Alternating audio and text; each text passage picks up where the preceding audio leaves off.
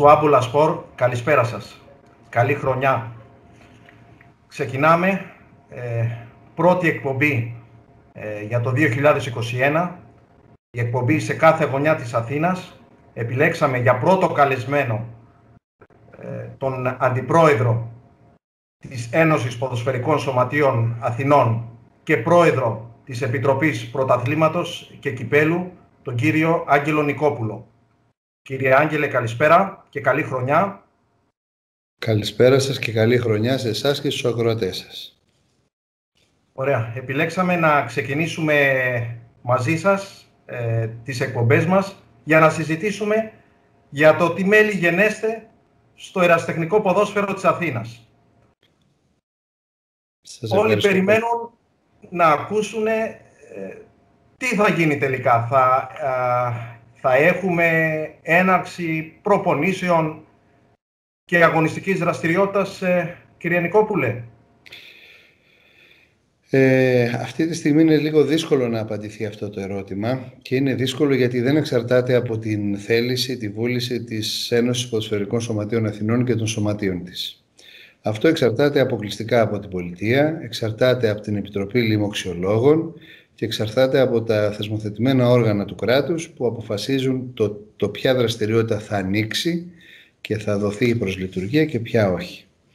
Η προσωπική μου λοιπόν εκτίμηση και αυτό που σας λέω είναι η προσωπική εκτίμηση είναι ότι τουλάχιστον τον μήνα που διανύουμε ε, δεν φαίνεται στον ορίζοντα να, υπάρξει, να υπάρχει κάποια ε, δυνατότητα να ξεκινήσει το ερασιτεχνικό ποδόσφαιρο. Εκτιμώ λοιπόν ότι αν θα πρέπει να κάνουμε κάποια συζήτηση για το πότε θα ξεκινήσουμε, που θα γίνει και κάποια στιγμή, η εκτίμησή μου είναι ότι θα γίνει αυτό κάποια στιγμή μέσα στον χρόνο, θα πρέπει να συζητάμε μάλλον από τις αρχές ή τουλάχιστον τον ερχόμενο μήνα. Και ανάλογα με τα αποτελέσματα που δίνουν οι μετρήσεις και οι έλεγχοι που γίνονται για την πορεία των, της, ΕΠΕΚ, ε, του ιού και της λίμωξης αυτής που υπάρχει, εν πάση περιπτώσει, της πανδημίας, των κρουσμάτων που βρίσκονται, που εντοπίζονται κτλ. Ε, πάντως να ξέρετε και εκείνο που θέλω να πω σε εσάς και σε όλα τα σωματεία και τους παράγοντες είναι ότι η βούληση της και η θέληση της Ένωσης Ποδοσφαιρικών Σωματείων Αθηνών είναι τα πρωταθλήματα να ξαναξεκινήσουν και να ολοκληρωθούν. Εφόσον όμως αυτό είναι δυνατόν, γιατί δεν θέλουμε και να παίζουμε με την ανθρώπινη υγεία, καταλαβαίνουμε και όλοι έχουμε την ανάγκη να, να, να μπούμε πάλι σε κανονικότητα, καταλαβαίνουμε και όλοι έχουμε την ανάγκη να ξαναμπούμε στα γήπεδα, να ξαναδούμε ποδόσφαιρο ερασιτεχνικό, αλλά αυτό βέβαια που δεν είναι δεν πρέπει να γίνει, θέτοντας σε κίνδυνο, έστω και σε παραμικρό κίνδυνο, την υγεία αυτών που συμμετέχουν, δηλαδή των ποδοσφαιριστών, των παραγόντων, του κοινού, των γονέων που συνοδεύουν τα παιδιά τους στα γήπεδα και όλου του κόσμου που ασχολείται με το ερασιτεχνικό ποδόσφαιρο. Ως διοίκηση της ΕΨΑ έχετε κάνει κάποιες ενέργειες ε, προς τους αρμόδιους ε, φορείς; Κοιτάξτε, επειδή το θέμα αυτό θα λυθεί συγκεντρωτικά και συνολικά, εμείς αυτό που έχουμε κάνει με τον Πρόεδρό μας, ο οποίος όπως ξέρετε είναι και στο Διοικητικό Συμβούλιο της ΕΠΟ, είναι να ζητήσουμε από την ΕΠΟ ε, να πιέσει, να ασκήσει πιέσει στο κράτος και στην πολιτεία προκειμένου να αρχίσει το ποδόσφαιρο. Επιπλέον έχουμε επιδιώξει και έχουμε ζητήσει επαφή με το Υπουργείο Αθλητισμού προκειμένου να δούμε τι ακριβώς μέλη γενέστε. Και αναμένουμε βέβαια την απάντηση της Γενικής Γραμματείας Αθλητισμού και του Υφυπουργού. Εάν, ε, κύριε Νικόπουλε, το, το, το Φλεβάρι, ναι. όπως εσείς εκτιμάτε, μπορεί να υπάρξει... Το, το Φλεβάρι θα, θα μπορούμε να συζητήσουμε για το αν και πότε θα ξεκινήσουν. Θα έχουμε δηλαδή μια πιο σαφή εικόνα. Δεν σας είπα ότι το Φλεβάρι θα ξεκινήσει mm-hmm. να, να ξεκινήσουμε να παίζουμε. Σας είπα ότι κατά την εκτίμησή μου το Φλεβάρι θα έχουμε μια πιο καθαρή σαφή εικόνα για το πότε θα ξεκινήσουμε. Εκτιμώ ότι θα ξεκινήσουμε κάποια στιγμή, αλλά το πότε αυτό θα είναι πιο ξεκάθαρο στις αρχές περίπου του, του Φλεβάρι. Σίγουρα θα πάρουν και κάποιο χρονικό διάστημα οι ομάδες για να προετοιμαστούν ε, για την ε, επανένωση. Ασφαλώς, μόλις θα, μόλις θα αχνοφανεί η πιθανότητα ή, ή θα προσδιοριστεί ο, ο χρόνος που μπορούμε να ξεκινήσουμε, ασφαλώς και θα δοθεί κάποια δυνατότητα να, να υπάρξει και μια έτσι προετοιμασία, κάποιες προπονήσεις κλπ. Πάντως από έναν υπολογισμό που έχουμε κάνει σαν Επιτροπή και κυρίως σαν διοίκηση, Ε, έχουμε με τον πρόεδρο επεξεργαστεί και κάναμε έναν υπολογισμό. Νομίζω ότι ένα χρονικό διάστημα τεσσάρων μηνών περίπου αρκεί με κάποιες λίγες εμβόλυμες αγωνιστικές για να ολοκληρωθούν τα πρωταθλήματα. Δηλαδή να σας δώσω ένα παράδειγμα. Εάν υποτεθεί ότι ξεκινάμε την 1η Μαρτίου, γύρω στα τέλη Ιουνίου, γύρω στα τέλη Ιουνίου θα μπορέσουμε να έχουμε ολοκληρώσει τα πρωταθλήματά μας. Ε... Δηλαδή θέλω να σας πω ότι εμείς έχουμε ξεκινήσει και δουλεύουμε σαν έψατα σενάρια πώς και με ποιες προϋποθέσεις θα πρέπει να γίνουν τα πρωταθλήματα όταν δοθεί το πράσινο φως και προσπαθούμε να είμαστε όσο το δυνατόν πιο έτοιμοι για να εξοικονομήσουμε τον αναπαραίτητο χρόνο ώστε να είμαστε έτοιμοι ως προς όλα. Το χρονικό διάστημα που θα έχουν οι ομάδες ώστε να προετοιμαστούν θα είναι δύο εβδομάδες; Κοιτάξτε να δείτε, θεωρώ ότι θα είναι εύλογο. Τώρα αν θα είναι δύο εβδομάδες, αν θα είναι δέκα μέρες, θα κρυθεί από το χρόνο που θα ξεκινήσουμε. Όσο απομακρυνόμαστε από το τέλος, ε, όσο, όσο απομακρυνόμαστε από τον Μάρτιο, ε, αντιλαμβάνεστε ότι αυτό το πράγμα, θα, ο, ο χρόνος αυτός θα μικραίνει. Πάντως, θα, δοθεί, ε... θα δοθεί όμως κάποιος εύλογος χρόνος. Δεν θα πούμε στα σωματεία ξαφνικά, παιδιά, σήμερα είναι Πέμπτη, την Κυριακή παίζεται. Αυτό δεν μπορεί να γίνει για πολλούς και διαφόρους λόγους. Ε, κάποιος εύλογος χρόνος θα δοθεί. Τώρα, αν θα είναι 10 ημερών, αν θα είναι 2 εβδομάδων, θα το κρίνει από το πότε θα, θα κρυθεί από το πότε θα ξεκινήσουμε. Σας είπα, εμείς κάναμε έναν υπολογισμό, υπολογίζοντας και τις ημέρες των αργιών του Πάσχα και τα λοιπά και πρωτομαγίε και αργίες, και είδαμε ότι περίπου μας χρειάζεται ένα χρονικό διάστημα χοντρά-χοντρά τεσσάρων μηνών για να, για να ολοκληρωθούν τα πρωταθλήματά μας. Κάνοντας χρήση και δύο ή τριών εμβόλυμων αγωνιστικών. Ε, το θετικό είναι ότι το καλοκαίρι η μέρα είναι πιο μεγάλη, άρα τα παιχνίδια μπορούν να γίνουν και να τραβήξουν και λίγο πιο αργά, να πάνε λίγο πιο πίσω, άρα να αντιμετωπίσουμε και την αυξημένη θερμοκρασία. Ε, θέλουμε να πιστεύουμε όμως ότι αν αυτός ο χρόνος επισπευστεί, δηλαδή αν μπορέσουμε το, το Φλεβάρι να ξεκινήσουμε ή μας δοθεί πράσινο φως μια εικόνα ότι θα μπορέσουμε να ξεκινήσουμε μετά τις 15 π.χ. 20 Φεβρουαρίου, ότι αυτό θα μας βοηθήσει στο να έρθουμε λίγο πιο νωρίς και για το καλοκαίρι.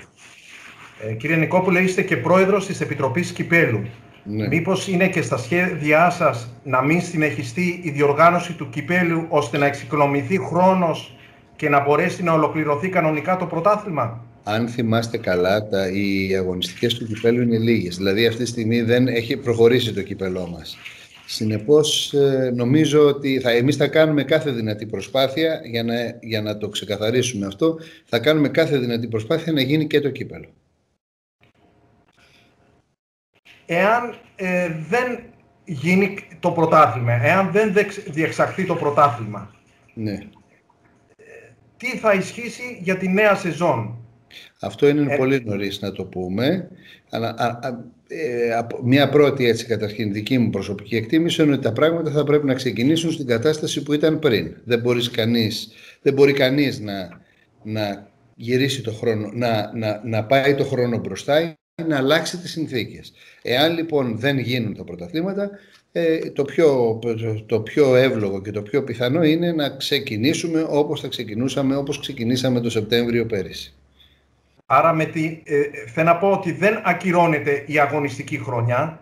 Θα ισχύσει, θα ξεκινήσει το νέο πρωτάθλημα από την ε, αγωνιστική. Όχι, όχι, θα, ξεκινήσει, θα ξεκινήσει νέο πρωτάθλημα. Αυτό σας λέω. Θα ξεκινήσει Άρα... νέο πρωτάθλημα. Δεν μπορεί να επεκταθεί το πρωτάθλημα πέραν της η λήξη αγωνιστικής περίοδου, προφανώς ε, εύλογα θα ξεκινήσει νέο πρωτάθλημα.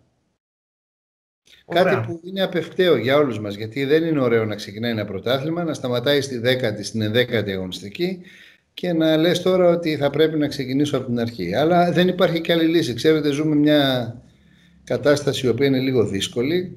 Ζούμε μια κατάσταση η οποία είναι πρωτόγνωρη για όλους. Προσπαθούμε, χωρίς να είμαστε μαθητευόμενοι μάγοι, να προβλέπουμε και να δημιουργούμε, να, να σχεδιάζουμε τρόπους και εναλλακτικά σενάρια για να μπορέσουμε να αντιμετωπίσουμε την κατάσταση. Αυτό δεν είναι πάντα εύκολο. Ε, νομίζω όμως ότι ε, θα μπορέσουμε στο τέλος να ανταποκριθούμε στο, στο, στις ανάγκες των καιρών.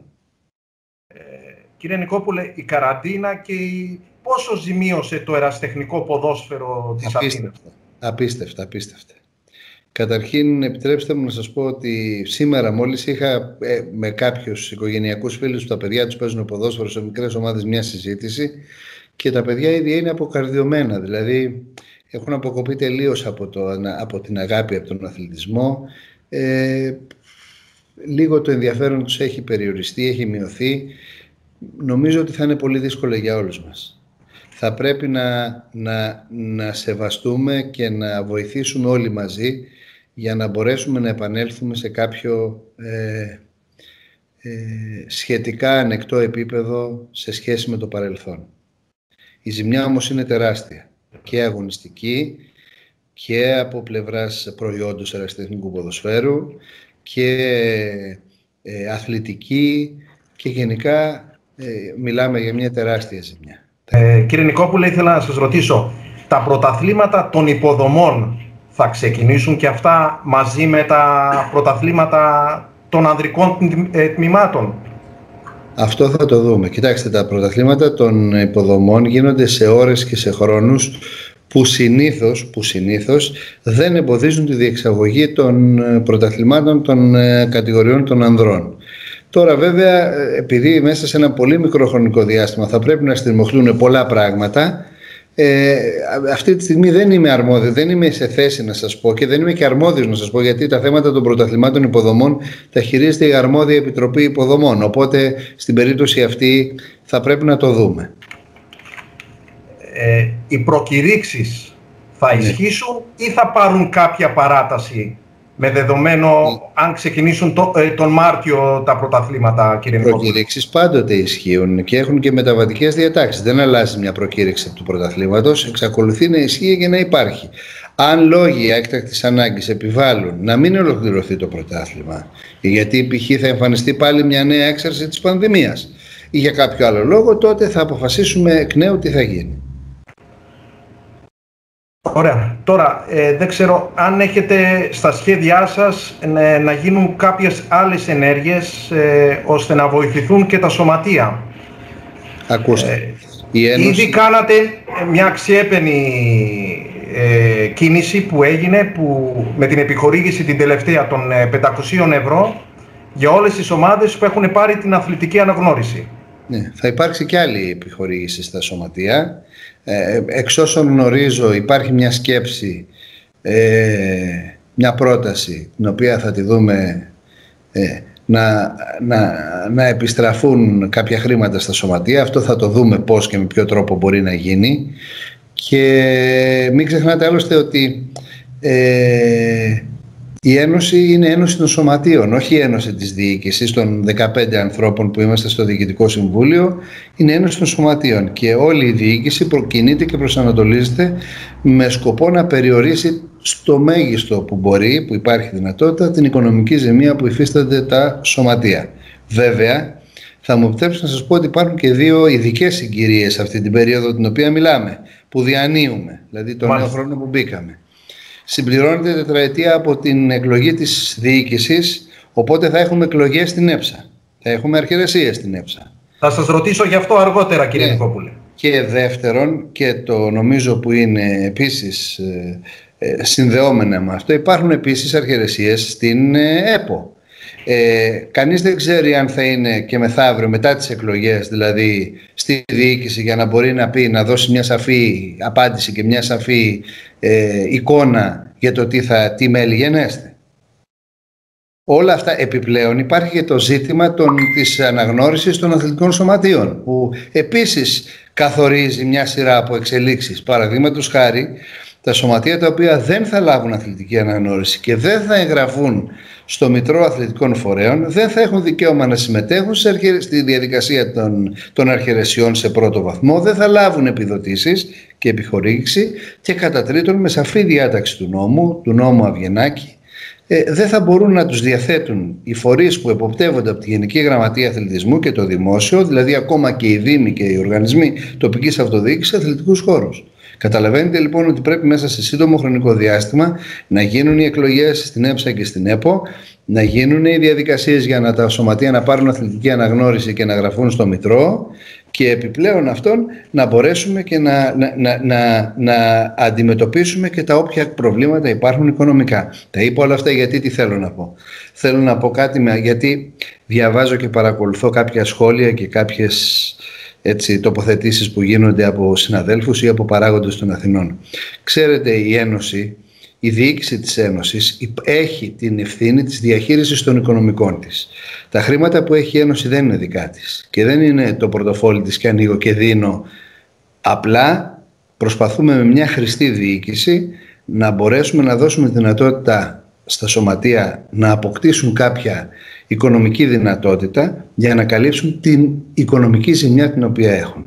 Δεν έχουμε το απεριόριστο, ούτε μπορούμε να ανοίξουμε τα συρτάρια της Ένωσης και να πετάμε χρήματα, με την έννοια να διαθέτουμε χρήματα, με την έννοια ότι θα πρέπει να σκεφτούμε και την επόμενη μέρα. Ε, σωστά. Ε, μια που αναφέρατε για τα σωματεία με, για την αθλητική αναγνώριση. Μέχρι στιγμής ε, γνωρίζετε πόσα σωματεία έχουν πάρει την αθλητική αναγνώριση, κύριε Νικόπουλε. Βεβαίως, βεβαίως. Καταρχήν πρέπει να, να ξεχωρίσουμε δύο πράγματα η νομοθεσία που, που εφαρμόζεται και που θεσπίστηκε και εφαρμόζεται θέτει δύο προϋποθέσεις. Η μία προϋπόθεση είναι η εγγραφή στο ηλεκτρονικό μητρό αθλητικών φορέων της Γενικής Γραμματείας Αθλητισμού. Είναι η γνωστή διαδικασία μέσω των κομπιούτερ και των ηλεκτρονικών ε, καταχωρήσεων και εγγραφών. Και η δεύτερη είναι η, η, η, η απόκτηση ειδικής αθλητικής, της ειδικής αθλητικής αναγνώρισης που προβλέπει ο νόμος. Αυτά τα πράγματα είναι, βαδίζουν μεν παράλληλα, αλλά είναι δύο πράγματα διαφορετικά. Δηλαδή, θέλω να πω ότι ένα σωματείο θα πρέπει να φροντίσει να έχει και τα δύο. Θα σας δώσω όμως μια εικόνα ε, για την μέχρι τώρα πορεία της εγγραφής των σωματείων ε, στην πλατφόρμα αυτή της Γενικής Γραμματείας Αθλητισμού. Πρέπει να ξέρετε ότι δεν έχει τύχει, ειδικά για τα σωματεία τα ποδοσφαιρικά, δεν έχει τύχει ευρείας αποδοχής αυτή η διαδικασία. Δηλαδή, αν λάβει κανείς υπόψη του ότι πανελλαδικά έχουμε περίπου έτσι, μια σαν, σαν προσέγγιση γύρω στα 2.500 με 2.600 ποδοσφαιρικά σωματεία σε όλη την Ελλάδα, έχετε υπόψη ότι περίπου στα 1.400-1.500 έχουν κάνει αίτηση να εγγραφούν. Δηλαδή περίπου 1.000 με 1.200 σωματεία δεν έχουν καν μπει σε αυτή τη διαδικασία. Τα τελευταία νούμερα για τα οποία μιλάμε και που μας ενδιαφέρουν το εξής. Σε όλη λοιπόν την Ελλάδα, αφού λάβατε αυτά τα, αφού σας, αφού σας έδεσα υπόψη σε αυτά τα νούμερα, σε όλη την Ελλάδα, ε, αυτή τη στιγμή που μιλάμε, συγγνώμη, ναι, είναι, έχουν εγκριθεί και έχουν εγγραφεί στην πλατφόρμα 570 σωματεία πανελλαδικά ποδοσφαιρικά, 570 ποδοσφαιρικά σωματεία πανελλαδικά. Από αυτά τα 570 σωματεία, τα 135 είναι στο νομό Αττικής και τα 80 είναι στην Αθήνα. Είναι της ΕΠΣ Αθηνών, της δυνάμεως της ΕΠΣ Αθηνών. Δηλαδή, ένα ποσοστό 60% των σωματείων της Αττικής που έχουν λάβει αναγνώριση ανήκουν στη δύναμη της ΕΠΣ Αθηνών. Ε, λάβετε υπόψη σας, όταν λέμε Αττική εννοούμε τις τέσσερις ενώσεις, δηλαδή Ανατολική, Δυτική, Αθήνα, Πειραιά ε, και εννοούμε βέβαια και την Ένωση Σάλας, τα Σωματεία Σάλας, τα Σωματεία Γυναικείου Ποδοσφαίρου. Αντιλαμβάνεστε λοιπόν ότι ε, έχοντας να κάνουμε με ένα τόσο μεγάλο αριθμό σωματείων στην Αττική, είναι ιδιαίτερα σπουδαίο και σημαντικό αυτός ο αριθμός 80 των σωματείων της Αθήνας. Και από την εικόνα που έχω η δυναμική είναι ότι αυτοί, τα σωματεία μας, σχεδόν όλα τα σωματεία μας έχουν υποβάλει αίτηση να εγγραφούν στην πλατφόρμα. Αυτό είναι το θετικό. Και τις επόμενες μέρες ο, ο αριθμός των σωματείων που θα ε, ε, τύχουν και θα λάβουν την εγγραφή στη, στην πλατφόρμα και την αθλητική αναγνώριση θα, θα αυξηθεί σημαντικά. Ε, επιπλέον να σας πω επίσης ότι η Ένωση δεν θα σταματήσει εκεί θα προσπαθήσουμε μόλις ολοκληρωθεί η διαδικασία αυτή, η πρώτη φάση της διαδικασίας της 22 Ιανουαρίου, να έρθουμε σε, σε επαφή με τα υπόλοιπα σωματεία που δεν έχουν λάβει την εγγραφή, δεν έχει εγκριθεί η εγγραφή τους στην, στην πλατφόρμα ή ε, δεν έχουν αθλητική αναγνώριση και θα προσπαθήσουμε να τα βοηθήσουμε προκειμένου να ολοκληρώσουν και αυτά την εγγραφή τους στην πλατφόρμα και να λάβουν αθλητική αναγνώριση ώστε πλέον η Ένωση Αθηνών, τα σωματεία της Ένωσης Αθηνών να μην έχουν κανένα πρόβλημα σε ό,τι αφορά την χρήση των αθλητικών εγκαταστάσεων που υπάρχουν στις, στα, στην, στα, όρια της ε, γεωγραφικής, ε, στα γεωγραφικά όρια της Ένωσής μας. Ε, ωραία. Κύριε Νικόπουλε, τώρα ήθελα να σας ρωτήσω για τα γραφεία ε, της ΕΠΣΑ, της Ένωσης. Ε, ναι.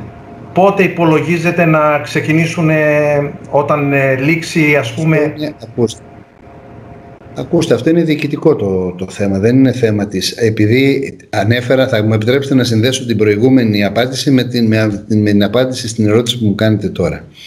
Επειδή επαναλαμβάνω, βλέπω και διαβάζω και ακούω διάφορες τοποθετήσεις γιατί δεν ανοίγεται τα γραφεία της ΕΨΑ, γιατί δεν δίνετε λεφτά στα σωματεία, γιατί δεν κάνετε αυτό, γιατί δεν κάνετε εκείνο, γιατί δεν κάνετε το άλλο. Αυτό που θέλω να πω είναι το εξής, ότι από τη στιγμή που υπάρχει αναστολή λειτουργίας των επιχειρήσεων, πώς μπορείς να ανοίξεις τα γραφεία και τις, τα γραφεία της Ένωσης Αθηνών; Είναι κλειστά όλες οι επιχειρήσεις. Όλες οι επιχειρήσεις με νόμο υποχρεωτικά είναι κλειστές. Πώς θα ανοίξει η ΕΠΣΑ τα γραφεία της; Και θα δεχτεί και, θα, και θα, θα λειτουργήσει. Το ποδόσφαιρο αυτή τη στιγμή δεν λειτουργεί καν. Πώς θα ανοίξει η ΕΠΣΑ τα γραφεία της; Δηλαδή, θα πρέπει να παρανομήσουμε με λίγα λόγια. Από τη στιγμή που όλα είναι κλειστά και δεν επιτρέπεται να λειτουργούν. Ε, δεύτερον, επαναλαμβάνω για να συνδέσω και τα δύο θέματα. Επειδή γίνεται μια πολύ μεγάλη και ευρεία συζήτηση γιατί δεν δίνεται χρήματα. Θέλω να πω και να διαβεβαιώσω ότι η Ένωση θα σταθεί στο πλευρό όλων των σωματείων και θα βοηθήσει όσο, όσο τις επιτρέπουν τα οικονομικά της και ακόμα περισσότερο. Χωρίς βέβαια να, να υπάρξουν την επόμενη μέρα άδεια ταμεία ή μια καμένη γη. Δεν ξέρω αν υπάρχει και στα σχέδιά σας ε, να δω, ε, κάποιες διαιτησίες ε, ε, να δοθούν όπως κάνατε και με, κατά την έναρξη του πρωταθλήματος. Όπως είδατε στις αρχές του πρωταθλήματος υπήρχαν κάποιες διαιτησίες που ήταν και αυτό είναι ένα μέτρο ενίσχυσης των σωματείων το οποίο είναι στο τραπέζι αυτή τη στιγμή. Και αυτό είναι ένα μέτρο ενίσχυσης.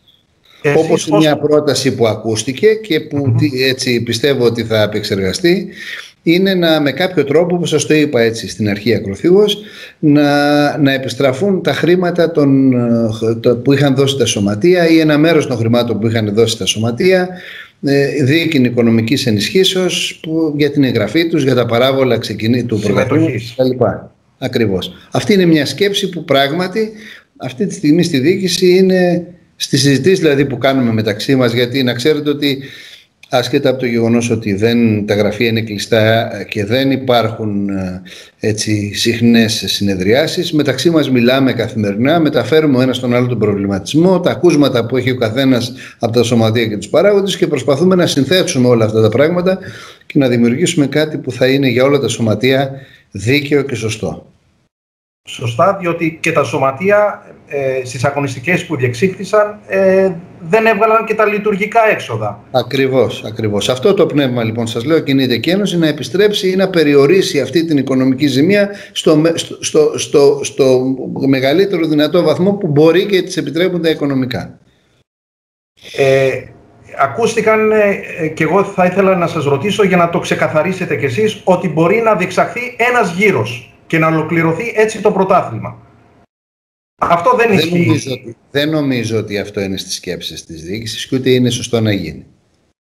Δεν νομίζω ότι είναι αυτό στις σκέψεις της διοίκησης. Αυτό είναι κάτι βέβαια που θα αποφασιστεί και επαναλαμβάνω είναι κάτι το οποίο θα, θα, θα κρυθεί και θα αποφασιστεί μετά τις εκλογές που θα γίνουν τους, τον επόμενο, τους επόμενους μήνες πότε θα, γίνει, θα οριστούν. Ε, είναι λίγο πρόωρο να αρχίσουμε να λέμε από τώρα. Εγώ πιστεύω ότι θα εξακολουθήσουμε να είμαστε πάλι στη διοίκηση της ΕΠΣΑ, οπότε θα, θα επανεκλεγούμε. Οπότε στην περίπτωση αυτή σας λέω ότι, ότι η εκτίμησή μου είναι ότι ε, ε πρωτάθλημα ενός γύρου ή ε, πρωτάθλημα περικομμένο δεν μπορεί να γίνει. Δηλαδή θα καταβληθεί προσπάθεια να, να ολοκληρωθεί η αγωνιστική. Να, να ε, ολοκληρωθούν οι αγωνιστικές κανονικά το πρωτάθλημα. Υπάρχουν βέβαια και τα μπαράζ ε, στην Α κατηγορία για την άνοδο στη Γ Εθνική, κύριε Νικόπουλε. Αυτό θα ας το δούμε. Ξέρετε κάτι, αυτό σας λέω ας το δούμε, γιατί δεν ξέρουμε τι θα γίνει και με τα πρωταθλήματα επάνω. Βέβαια η αλήθεια είναι ότι η, η, η, τάση που υπάρχει αυτή τη στιγμή είναι να ξεκινήσουν τα πρωταθλήματα των ανώτερων κατηγοριών. Ας δούμε λοιπόν πώς θα πάνε αυτά και πώς θα εξελιχθούν και ας ξαναμιλήσουμε στο μέλλον για το θέμα των μπαράζ που νομίζω ότι δεν θα είναι και τίποτα ε, ιδιαίτερο. Δηλαδή Θα είναι τρεις ομάδες που θα δώσουν παράς μεταξύ τους για δύο θέσεις υπό τις παρούσες συνθήκες. Όσον αφορά τη μεταγραφική περίοδο, τη χειμερινή μεταγραφική περίοδο που ίσχυε κάθε σεζόν, αυτό είναι ρυθμίζεται με απόφαση της ΕΠΟ, δεν μπορώ να σας πω κάτι, θα αποφασίσει η ΕΠΟ. Αλλά δυστυχώς και στην ΕΠΟ βρισκόμαστε σε μια προεκλογική εντός εισαγωγικών περίοδο, γιατί όπως ξέρετε στις 19 Ιανουαρίου είναι προγραμματισμένες οι εκλογές. Επομένως αυτή τη στιγμή δεν μπορώ να σας πω κάτι εγώ, ούτε ξέρω κάτι να σας πω. Αν το ήξερα ή αν το είχα ακούσει θα σας το έλεγα. Αυτή τη στιγμή όμως με βάση την εικόνα που έχω δεν υπάρχει κάποια εξέλιξη σε ό,τι αφορά την μεταγραφική περίοδο. Δηλαδή δεν υπάρχει κάτι σαφές για να το πούμε. Ε, κύριε Νικόπουλε, είστε αρκετά χρόνια στη διοίκηση της ΕΨΑ, στο χώρο του εραστεχνικού ποδοσφαίρου της Αθήνας. Να σας ρωτήσω αν θα είστε και πάλι υποψήφιος στις νέες εκλογές της ε, Ένωσης Ποδοσφαιρικών Σωματείων Αθηνών. Ε, κοιτάξτε, εγώ θέλω, θα είμαι, θέλω να είμαι και θα είμαι ε, και εφόσον, η υγεία μας το επιτρέ... εφόσον έχουμε την υγεία μας και εφόσον μας το επιτρέψει και ο υπουργός γιατί όλο κάνει νόμους πώς θα αλλάξουν τα πρόσωπα και τα πράγματα, πώς θα, θα ανανεωθούν. Όχι, θα είμαι για να σοβαρολογήσω, θα είμαι, θα είμαστε μαζί με τον Πρόεδρο. Ε, με τον κύριο Δημητρίου, τον, τον κύριο, Παναγιώτη Δημητρίου. Βεβαίως, βεβαίως, το αδέσμευτο εραστεχνικό ποδόσφαιρο. Ξεκινήσαμε μια πορεία πριν από περίπου 20 χρόνια. Ε, τη συνεχίζουμε. Είμαστε φίλοι, είμαστε συνεργάτες είμαστε, ε, έχουμε γίνει μια οικογένεια όλα τα παιδιά που είμαστε στο Διοικητικό Συμβούλιο και νομίζω ότι αυτό είναι το κέρδος και το θετικό. Δεν είμαστε ούτε δημόσιοι υπάλληλοι, ούτε άνθρωποι που κάνουν την πλάκα τους. Είμαστε, να το πω έτσι, ας μου επιτραπεί η λέξη, εραστές του εραστηνικού ποδοσφαίρου. Μας αρέσει αυτό που κάνουμε, μας αρέσει αυτό που βοηθάμε. Νομίζω ότι αυτά τα 20 χρόνια το ποδόσφαιρο της Αθήνας στο εραστεχνικό έχει πάει πολλά βήματα μπροστά και πάνω. Ε, θα σας πω ότι η εικόνα και η κατάσταση που παραλάβαμε δεν, ήταν, δεν έχει καμία σχέση με τη σημερινή εικόνα. Ε, όλα αυτά τα χρόνια καταβάλαμε μια πολύ σκληρή προσπάθεια που νομίζω ότι την επόμενη τετραετία που πιστεύω ότι θα ξαναεκλεγούμε θα μας δώσει δυνατότητα να ολοκληρώσουμε ένα κύκλο που θα είναι σίγουρα ε, πάρα πολύ ε, εποφελής και πάρα πολύ θετικός για όλο το σωματεία. Το επόμενο στόχος λοιπόν για να προχωρήσω είναι να μπορέσουμε να αποκτήσουμε ακόμα ένα ή δύο εραστεχνικά γήπεδα στην Αθήνα και να, να έχουμε με αυτόν τον τρόπο τη δυνατότητα να ε, να απλώσουμε το πρόγραμμά μας, να μπορούσαν τα σωματεία να έχουν καλύτερες συνθήκες. Έχουμε κάποιες δεσμεύσεις από τους αρμοδίους ότι θα μας διαθέσουν τους χώρους, ότι υπάρχουν οι χώροι και θα μας τους διαθέσουν και ευελπιστούμε ότι κάποια στιγμή θα μπορέσουμε μέσα στην ερχόμενη τετραετία και αυτό το πράγμα να το υλοποιήσουμε. Κύριε Νικόπουλε, θα υπάρχουν και κάποια νέα πρόσωπα; Ε, αυτή τη στιγμή δεν το ξέρω. Σίγουρα θα υπάρχουν κάποια νέα πρόσωπα. Ξέρετε, υπάρχει πάντα μια ανανέωση. Υπάρχουν κάποιοι άνθρωποι που κουράζονται, που περνάνε τα χρόνια, η αλήθεια είναι, που αντιμετωπίζουν κάποια προβλήματα ε, χωρίς να, να, να λέμε ότι αυτοί οι άνθρωποι είναι περιττοί ή ότι ε, δεν χρειάζονται. Το βέβαιο είναι ότι με σεβασμό και αγάπη στην προσφορά τους και στη βοήθειά τους ε, θα τους έχουμε και αυτούς στο πλευρό μας ε, εφόσον ο καθένας από αυτούς μπορεί να βοηθήσει και να συνδράμει το έργο μας. Αυτό όμως δεν το γνωρίζω, θα πρέπει να το αποφασίσει όλη η παράταξη και ο Πρόεδρος από κοινού να δούμε τι θα γίνει. Ε, πότε υπολογίζεται να διεξαχθούν οι εκλογές ε, κύριε Νικόπουλε; Κοιτάξτε, από ότι ε, θα γίνουν σίγουρα όπως το βλέπω προς τα τέλη Φεβρουαρίου. Εκεί περίπου είναι η ημερομηνία με βάση δηλαδή τις, ε, τις ε, προθεσμίες που έχει βάλει ο νέος αθλητικός νόμος και με βάση τη θητεία που προσδιορίζεται θα είναι περίπου γύρω στα τέλη του Φεβρουαρίου. Ο νόμος ο καινούργιος απαιτεί κάποιες διαδικαστικές προϋποθέσεις, δηλαδή 45 μέρες πριν να ανερτήσεις την πρόσκληση των, ε, της Γενικής Συνέλευσης, να στείλει την κατάσταση με τα σωματεία στη Γενική Γραμματεία Αθλητισμού. Έχει κάποιες προϋποθέσεις διαδικαστικές που από μόνες τους ε, έτσι οδηγούν στο χρόνο περίπου στον οποίο θα έχουμε τις εκλογές. Ωραία. Ε, κύριε Νικόπουλε, ως πρόεδρος της Επιτροπής ε, Πρωταθλήματος, ε, είστε ικανοποιημένος από τα σωματεία μέχρι τη διακοπή του πρωταθλήματος. Ε, τηρήσανε το υγειονομικό πρωτόκολλο. Ναι, ναι, ναι, ναι, ναι, ναι. Ε, και εδώ πάλι ευχαριστώ που με την ερώτηση μου δίνετε μια ευκαιρία να μου δίνετε την ευκαιρία να πω δύο πράγματα. Ξέρετε, τα αεραστενικά σωματεία με τα πενιχρά μέσα που διαθέτουν δεν είναι εύκολο να τηρήσουν το υγειονομικό πρωτόκολλο που προβλέπεται για τις ΠΑΗ για τις μεγάλες κατηγορίες. Εάν κάποιος το πιστεύει ή το λέει αυτό, βρίσκεται σίγουρα σε, σε, σε πλάνη και σε ουτοπία. Μακάρι να μπορούσαμε να το κάνουμε, δεν μπορούμε και ούτε είναι δυνατόν να γίνει ε, αυτό το πράγμα. Για πολλούς και, και διαφόρου λόγους, διότι σε ένα γήπεδο γίνονται, μπορεί σε μια μέρα να γίνουν τρει-τέσσερι αγώνες μαζί, γιατί δεν υπάρχουν αγωνιστικοί χώροι. Ε, γιατί το ίδιο γήπεδο το χρησιμοποιούν ως έδρα 3 και 4 και 5 και 6 και στη γειτονιά τη δικιά μας εδώ, στην Άνω Κυψέλη, το γήπεδο της Αλεπότρυπας. Της Αλεπότρυπας και 7 και 8 σωματεία. Καταλαβαίνετε λοιπόν ότι δεν είναι δυνατόν να τηρηθεί υγειονομικό πρωτόκολλο. Κάποιος που το υποστηρίζει αυτό είναι αυστηρό υγειονομικό πρωτόκολλο. Ωστόσο, οι οδηγίες δόθηκαν σε όλα τα σωματεία, τηρήθηκαν σε γενικές γραμμές με ευλάβεια. Ε, εντάξει, δεν μπορεί η Ένωση να κάνει την αστυνομία ούτε να απαγορεύσει την είσοδο στις κερκίδες κόσμου που θέλει να μπει πηδώντας τα, τους φράχτες και τα κάγκελα. Η, το αεραστικό ποδόσφαιρο δεν στηρίζεται στη λογική της αστυνόμευσης στηρίζεται στη λογική του, του αθλήματος και, της, ε, και του θεάματος και όχι στη λογική του να αστυνομεύω να μην μπει κάποιος μέσα στο γήπεδο γιατί αν θα μπει θα, θα κινδυνεύω να είμαι υπόλογος γιατί δεν έλαβα μέτρα. Στα μέτρα λοιπόν του δυνατού θεωρώ ότι πρέπει να είμαστε ικανοποιημένοι από τα αποτελέσματα που βέβαια πάντα υπήρχαν εξαιρέσεις. Πάντα υπάρχουν και υπήρχαν και θα υπάρχουν εξαιρέσεις. Αυτό όμως δεν αναιρεί τον κανόνα ότι τα σωματεία σε γενικές γραμμές συμμορφώθηκαν με το πρωτόκολλο, συμμορφώθηκαν με του στοιχειώδει κανόνες, προσπάθησαν, βοήθησαν και η απόδειξη είναι ότι δεν ακούστηκε από κανένα αεραστεχνικό σωματείο της Αθήνας να υπάρχει κάποιο ενεργό κρούσμα κορονοϊού όλο αυτό το χρονικό διάστημα που παίξαμε ποδόσφαιρο. Δεν έχω ακούσει κάποιον ποδοσφαιριστή να αρρώστησε. Αυτό τι σημαίνει; Αυτό στην πράξη σημαίνει ή και να υπήρχε κάποιο τέτοιο κρούσμα ήταν λίγα και ελάχιστα αν υπήρξε. Εγώ δεν έχω ακούσει προσωπικά. Ε, αυτό στην πράξη σημαίνει ότι τελικά ε, τα σωματεία μας τήρησαν αυτά, που, αυτά τα οποία ε, το κράτος ε, ζήτησε και γι' αυτό το λόγο η, το επίπεδο ασφαλείας κινήθηκε σε υψηλά και ικανοποιητικά επίπεδα.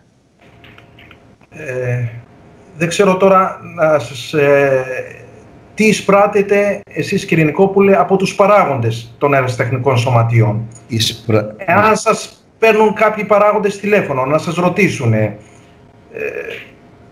αυτό που εισπράττω είναι η αγωνία όλων, το τι, αυτό που με ρωτήσατε στην πρώτη σας ερώτηση η αγωνία όλων το τι θα γίνει, αν θα ξεκινήσουν τα πρωταθλήματα και πότε θα ξεκινήσουν και με ποιους όρους θα ξεκινήσουν. Αν θα γίνουν όλοι οι αγώνες ή αν θα γίνουν μερικοί αγώνες. Αν θα γίνουν εμβόλυμες αγωνιστικές. Πότε θα τελειώσει το πρωτάθλημα. Αν θα γίνουν τα μπαράζ. Όλοι έχουμε τις ίδιες αγωνίες και τις ίδιες ανησυχίες. Δυστυχώς ή ευτυχώς αυτά τα πράγματα εν πολλής εξαρτώνται από τις αποφάσεις της πολιτείας και όχι από τις αποφάσεις της Ένωσης. Θέλω να ξέρετε και να διαβεβαιώσω όλους όσους μας ακούνε ότι η, διάθεση και η πρόθεση της Ένωσης και όλων των ανθρώπων της είναι να γίνουν οι αγώνες, να γίνουν τα πρωταθλήματα αλλά βέβαια σε, ένα, σε, ένα, σε συνθήκες και σε περιβάλλον ασφάλειας και υγείας για όλους. Λέμε ναι στο ποδόσφαιρο, λέμε ναι στον αθλητισμό, τον ερασιτεχνικό, αλλά λέμε κυρίως ένα μεγάλο ναι πάνω και πρώτα απ' όλα στην ανθρώπινη υγεία και, στον, και στην διασφάλιση του και αύριο και μεθαύριο και την επόμενη αγωνιστική περίοδο να είμαστε όλοι μαζί εκεί στις θέσεις μας. Είτε μέσα στο γήπεδο, είτε στην κερκίδα, είτε στα γραφεία, είτε στις διοικήσεις των σωματείων, είτε, είτε στις εφημερίδες και στα μέσα ε, ενημέρωσης, να είμαστε όλοι εκεί στις θέσεις μας. Κύριε Νικόπουλο, είστε αρκετά χρόνια, όπως προανέφερα, ε, κάνοντας τον απολογισμό, κύριε Νικόπουλε. Ε, είστε ευχαριστημένος ε, και ικανοποιημένος από τη διοργάνωση των πρωταθλημάτων. Η εικόνα είναι, έχουν βελτιωθεί κατά πολύ τα πρωταθλήματα. Κοιτάξτε, όταν θα μου επιτρέψετε να πω το εξής. Όταν πρωτοεκλέχθηκα στην, ε, στη διοίκηση της ΕΨΑ, θυμάμαι αυτό που μου είχε κάνει πολύ μεγάλη εντύπωση, γιατί μέχρι τότε ήμουν απαράγοντας σε κάποιο σωματείο, στο σωματείο από το οποίο προέρχομαι, στην Αθηναίδα. Ε, μου έκανε μεγάλη εντύπωση ότι τις πέμπτες τα απογεύματα υπήρχε μια συγκέντρωση κάτω από τα γραφεία της Ένωσης ε, για, να, για την κλήρωση με τους διαιτητές, ποιος παίζει, ποιος σε παίζει, έπαιρνε ο ένας τον άλλον, σε παίζει ο τάδε διαιτητής, σε παίζει ο τάδε επόπτης. Αυτό με την πορεία των χρόνων έχει, έχει εξαλειφθεί, γίνονται ορισμοί, ε, ε, οι διαιτησίες σίγουρα έχουν βελτιωθεί. Αυτό δεν σημαίνει ότι δεν υπάρχουν παράπονα. Παράπονα υπάρχουν και πάντα θα υπάρχουν από, τους, από, από τις διαιτητικές αποφάσεις. Είναι και οι διαιτητές άνθρωποι, λάθη κάνουν. Πολλές φορές ε, τους ρίχνουμε πολύ μεγαλύτερο φορτίο αντί από ότι οι πλάτες τους αντέχουν, για να λέμε και την αλήθεια. Πολλές φορές είμαστε άδικοι με αυτούς. Πολλές φορές δίκαια διαμαρτυρόμαστε για κάποιες αποφάσεις τους, αλλά αυτό είναι, δεν μπορεί να αλλάξει μια απόφαση είτε σωστή είτε λάθος. Εκείνο που θέλω όμως να πω είναι το εξής ότι ξεκινώντας από τον τομέα, από το κομμάτι της διαιτησίας, νομίζω ότι η διαιτησία έχει βελτιωθεί σε πάρα πολύ μεγάλο επίπεδο.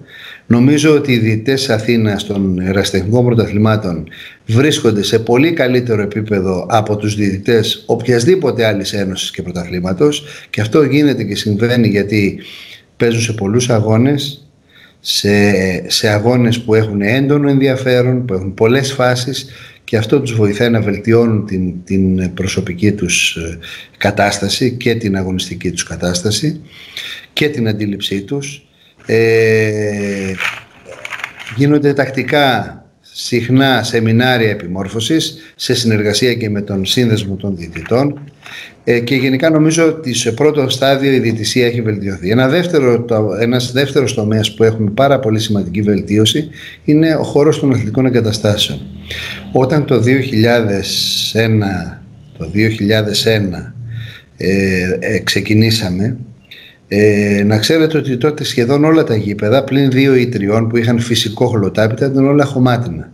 Αυτή τη στιγμή δεν υπάρχει χωμάτινο γήπεδο στην Αθήνα. Δηλαδή μέσα σε 20 χρόνια ε, και με τη βοήθεια των Δήμων και με τις δικές μας ενέργειες και πιέσεις καταφέραμε να τα πρωτάθληματά μας να διεξάγονται όλα σε αγωνιστικούς χώρους με τεχνητό και φυσικό χλωτάπιτα. Κάτι που βελτιώνει την ποιότητα και λιγοστεύει τις πιθανότητες και τους κινδύνους τραυματισμού των παικτών. Ε, Σίγουρα αποκτήσαμε κάποια καινούργια γήπεδα. Σίγουρα βελτιώθηκαν κάποιοι εγκαταστάσεις σχεδόν όλων των γηπέδων της Αθήνας. Και για να φτάσω τώρα πια και σε αυτό καθε αυτό το θέαμα.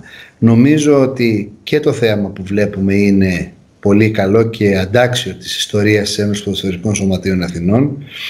Δεν είναι τυχαίο ότι ε, η τελική των, του κυπέλου μας ή τα, οι αγώνες μπαράζ είναι αγώνες που αν τους παρακολουθήσει κανείς θα σχηματίσει την βεβαιότητα ότι οι ομάδες που αγωνίζονται στον αγωνιστικό χώρο είναι σίγουρα ε, το πρωταθλημάτων Γ και Β εθνικής. Είναι τόσο καλό το επίπεδο.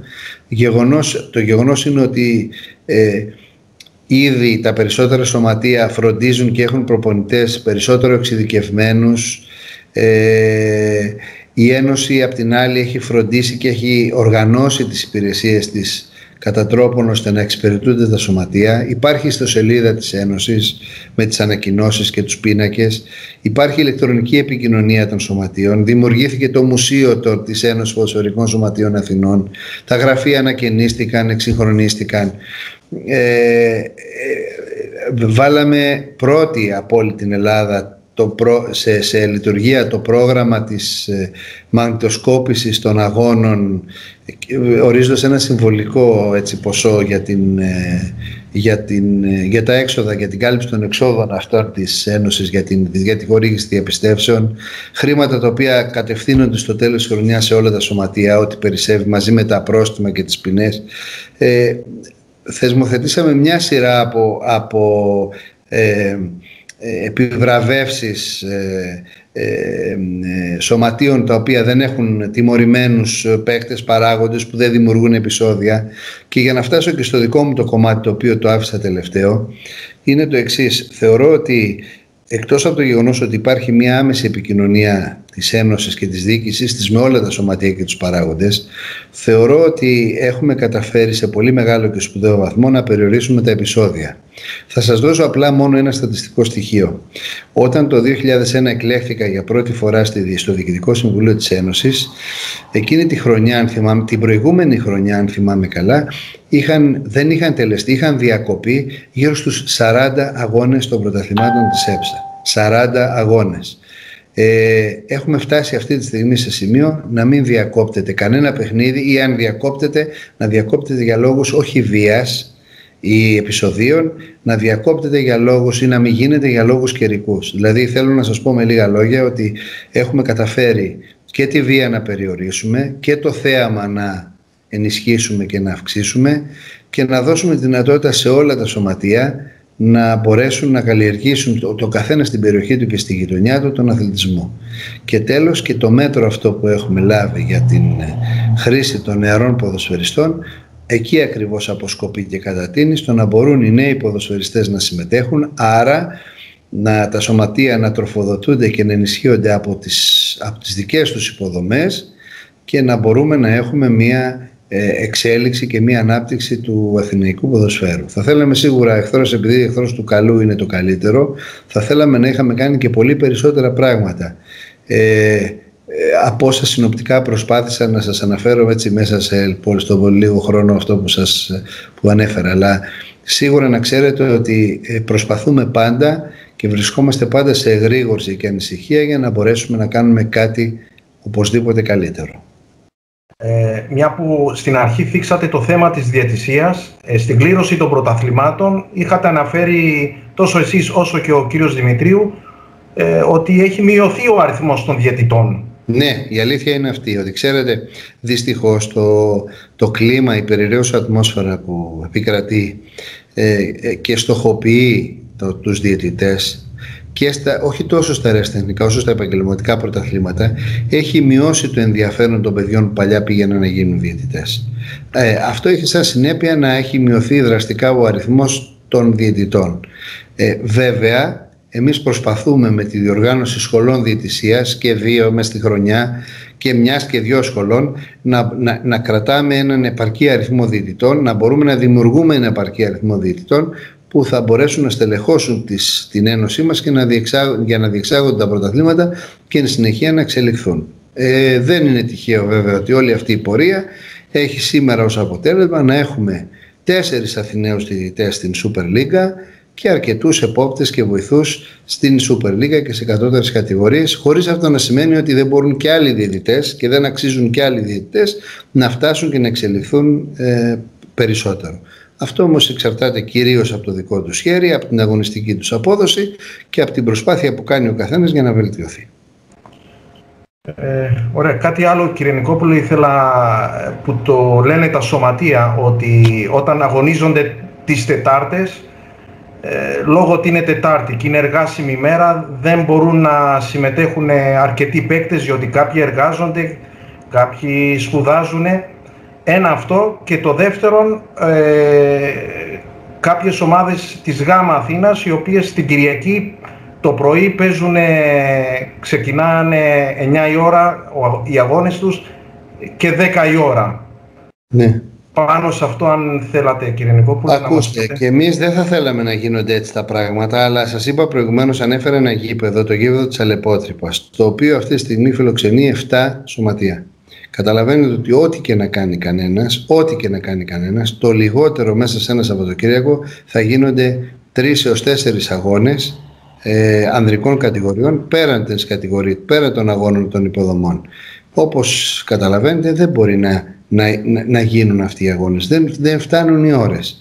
Ε, αυτό, έχει, αυτό είναι κυρίως που δημιουργεί το θέμα με, τις, με τους πρωινούς αγώνες. Υπάρχει όμως εκείνο που θέλω να πω για να μην αδικούμε και να μην είμαστε υπερβολικοί. Είναι το εξής. Δεν παίζουν 9 η ώρα το πρωί τα ίδια και τα ίδια σωματεία. Προσπαθούμε να υπάρχει μια, ένας επιμερισμός, μια τέτοια, ε, ας το πούμε έτσι, ε, ένας τέτοιος καταμερισμός ώστε να, να μην παίζουν ήδη και ήδη 9 η ώρα το πρωί αλλά να περιοριστεί αυτό σε έναν ή δύο αγώνες σε κάθε πρωτάθλημα για κάθε σωματείο ή για τα σωματεία τα οποία έχουν αυτό το πρόβλημα ώστε να μην μεγιστοποιείται. Ε, πιστεύουμε και ελπίζουμε ότι αν θα μπορέσουμε να αποκτήσουμε δύο ακόμα γήπεδα εραστεχνικά έστω και ένα δηλαδή θα είναι καλό, θα είναι θετικό, αν θα, θα, θα μπορέσουμε να αυξήσουμε τους αγωνιστικούς χώρους, αυτό το πρόβλημα θα περιοριστεί. Ε, τώρα που μας παρακολουθούν οι παράγοντες ε, των εραστεχνικών σωματείων της Αθήνας. Ε, τι θα ήθελε ο Αντιπρόεδρος της Ένωσης Ποδοσφαιρικών Σωματείων Αθηνών, ο κύριος Άγγελος Νικόπουλος, να τους πει; Αυτό που το δικό σας μήνυμα, κύριε Νικόπουλε. Σας ευχαριστώ πολύ που μου δίνετε αυτή την ευκαιρία. Εκείνο που θέλω να τους πω είναι ότι ε,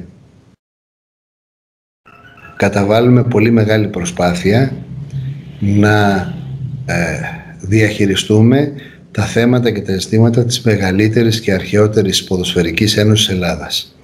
Αυτό δεν είναι εύκολο, δεν είμαστε μάγοι με ραβδάκια, δεν έχουμε τις λύσεις στα τσεπάκια μας, ούτε μαγικές λύσεις. Μαθαίνουμε και εμείς από τους παράγοντες και εκείνο που θέλω να πω είναι ότι θέλω να καλέσω όλους τους παράγοντες από όλα τα σωματεία να είναι κοντά στην Ένωση. Η γνώμη, η συμβουλή, η άποψη, η απορία, το παράπονο, η διαμαρτυρία του καθενός, ξέρετε αποτελεί τη μαγιά το υλικό πάνω στο οποίο μπορούμε να χτίσουμε καινούργια πράγματα, να διορθώσουμε κάποια κακό κείμενα, να αλλάξουμε νοοτροπίες και αντιλήψεις ετών και να δημιουργήσουμε ένα καλύτερο αύριο για το ερασιτεχνικό ποδόσφαιρο. Κανείς δεν περισσεύει λοιπόν. Το μήνυμα που θέλω να δώσω στους παράγοντες είναι να εμπιστεύονται την ΕΨΑ και τη διοίκησή της, να μην θεωρούν ότι είμαστε κάτι διαφορετικό ή έξω από το ερασιτεχνικό ποδόσφαιρο, γιατί είμαστε κι εμείς χρόνια παράγοντες στα σωματεία μας και στην Ένωση. Η Ένωση είναι ένωση των σωματείων και όχι ένωση των προσώπων και να βοηθούν όλοι ο καθένας με τον τρόπο του, σας είπαμε ποιο τρόπο, με την πρόταση, το παράπονο, τη διαμαρτυρία του, στο να μπορέσουμε να φτιάξουμε κάτι ακόμα καλύτερο από αυτό που έχουμε δημιουργήσει.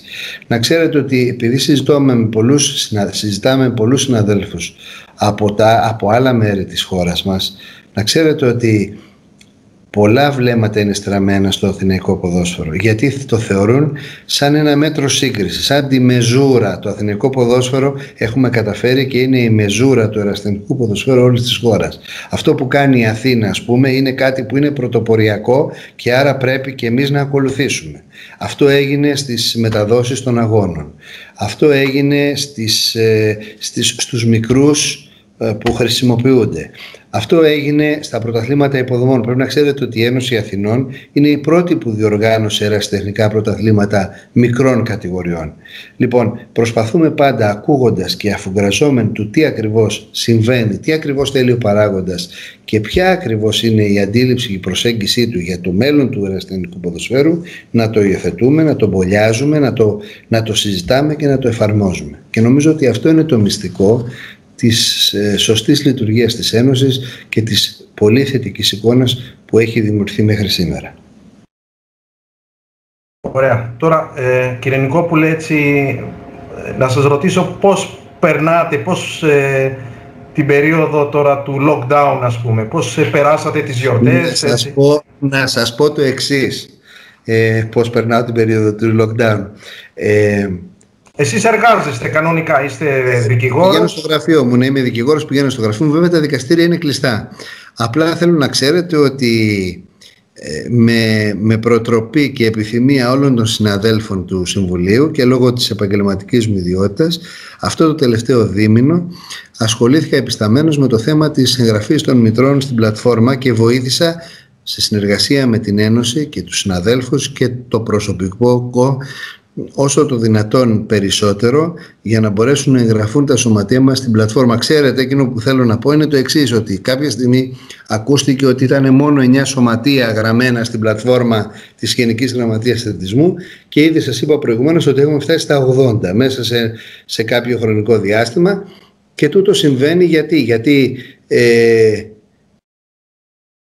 τα χαρτιά που, ζητιού, που, ζητιούνται, που ζητάει η Γενική Γραμματεία είναι πολλά, είναι εξειδικευμένα, χρειάζεται μια βοήθηση, μια, μια βοήθεια, μια κατεύθυνση. Προσπάθησα λοιπόν από μεριά της Ένωσης να βοηθήσω σε αυτό το τομέα και πιστεύω ότι τα αποτελέσματα είναι θετικά όχι για να λιβανίσω τα γένια μου για να πω ότι επειδή ήμουν εγώ ε, βοήθησα. Ε, νομίζω ότι κατευθύναμε σαν Ένωση και όλα τα σωματεία στην κατεύθυνση της Ένωσης τα μέλη μας στη σωστή κατεύθυνση προκειμένου να, να, να επισπεύσουν τη διαδικασία και να ολοκληρώσουν την εγγραφή τους στο Μητρό Αθλητικών Φορέων. Και με την ευκαιρία θέλω να πω ότι η Ένωση είναι ανοιχτή και οι άνθρωποι της και εγώ προσωπικά λόγω της ειδικότητάς μου, για κανένα άλλο λόγο, λόγω της ειδικότητάς μου, να βοηθήσω ακόμα και σήμερα όσους όποιους, όποιοι ε, φίλοι, παράγοντες έχουν προβλήματα με την ολοκλήρωση της εγγραφής στο Αθλητικό Μητρό ή στην πλατφόρμα, ε, να με καλέσουν να τους βοηθήσω ή να τους συνδράμω σε οποιοδήποτε πρόβλημα υπάρχει για να ολοκληρωθεί το ταχύτερο δυνατόν αυτή η διαδικασία. Γιατί πιστεύω ότι όλη αυτή η, η κίνηση της οργάνωσης του αθλητισμού από την πολιτεία είναι σε θετική κατεύθυνση, είναι, είναι, είναι μια κίνηση θετική. Ωραία. Ε, δεν ξέρω, θέλατε κάτι άλλο να, ε, να προσθέσετε, κύριε Νικόπουλε, που δεν το αναφέραμε; Ναι, θέλω να πω σε όλους ότι αυτό που είπα, ότι η ΕΨΑ στην αρχή και το επανέλαβα. Η ΕΨΑ είναι μια οικογένεια. Η ΕΨΑ είναι μια ένωση των σωματείων της, δεν είναι μια ένωση των προσώπων, είναι μια ένωση σωματείων που όλοι όσοι εργαζόμαστε και δουλεύουμε σε αυτή, δουλεύουμε για τον κοινό σκοπό οποιαδήποτε θέση και αν έχει ο καθένας, ακόμα και ο φροντιστής ενός σωματείου, ακόμα και ο άνθρωπος που καθαρίζει ή πλένει τις εμφανίσεις ενός σωματείου, είναι και αυτός μέλος αυτής της μεγάλης οικογένειας. Και έτσι πρέπει να το βλέπουμε όλοι για να προχωράμε όλοι μαζί και να κερδίζουμε το μέλλον και την καλύτερη εικόνα του αεραστεχνικού ποδοσφαίρου της Αθήνας. Ωραία, θα ήθελα και τις δικές σας ευχές, γιατί όλες τις προηγούμενες μέρες ανεβάζαμε βίντεο ποδοσφαιριστών, ναι, παραγόντων, με τις ευχές τους.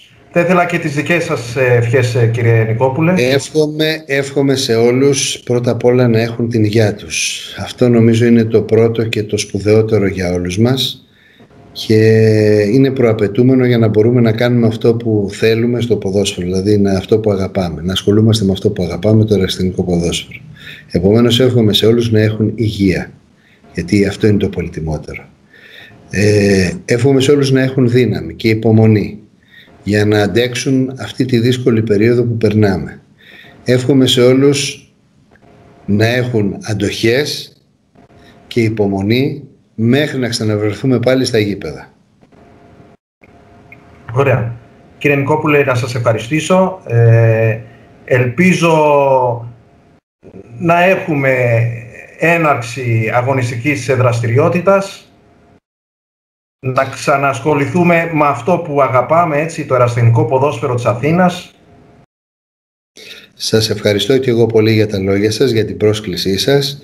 Ε, θέλω να ξέρετε και να διαβιβώσω και εσάς και όλους όσους ασχολούνται με τα μέσα μαζικής ενημέρωσης με το ερασθενικό ποδόσφαιρο της Αθήνας ότι η Ένωση θα προσπαθήσει να βρίσκεται δίπλα σας και κοντά σας για να μεταφέρετε. Σας ευχαριστούμε για τον αγώνα και την προσπάθεια που κάνετε γιατί ε, προβάλλετε το αθηναϊκό ποδόσφαιρο και αυτό είναι πάρα πολύ σπουδαίο για μας ε, και κάθε θετική και ε, καλή πτυχή του και αυτό είναι πολύ θετικό για μας. Θέλω λοιπόν να σας, με την ευκαιρία να σας ευχαριστήσω όπως επίσης να σας ευχαριστήσω για την πρόσκλησή σας και να ευχηθώ να βρεθούμε όλοι το συντομότερο δυνατόν στους χώρους που αγαπάμε στα γήπεδα του Ερασιτεχνικού Ποδοσφαίρου της Αθήνας. Ευχαριστούμε πολύ. Καλό σας βράδυ και καλή χρονιά καλή κύριε Κόπουλο. Καλή χρονιά σε όλο το ποδόσφαιρο της Αθήνας, σε όλους τους παράγοντες, τους αθλητές, τους φίλους, τους διαιτητές, τους παρατηρητές, τους γιατρούς, το προσωπικό των γηπέδων, το προσωπικό της Ένωσης και τους συναδέλφους της Ένωσης. Καλή χρονιά σε όλους. Ευχαριστώ πολύ.